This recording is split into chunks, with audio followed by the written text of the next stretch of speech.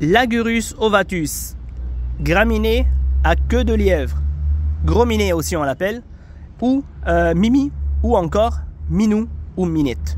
Bon, c'est une graminée, une herbacée euh, annuelle qui va se développer bien sûr par graines, il va faire des centaines de graines.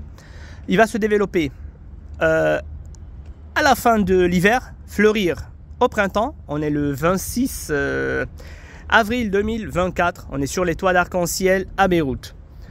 Euh, il va disparaître d'ici un mois, donc à la fin du printemps, début été, il va tout simplement disparaître. C'est une plante qui va mourir, qui ne vit pas plus de 4-5 mois maximum, maximum.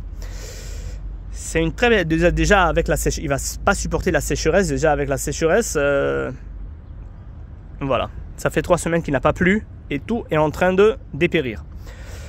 Bon, c'est une plante originaire du bassin méditerranéen qui va supporter, bon, ressusciter, on parle euh, moins 10, voire moins 15 degrés.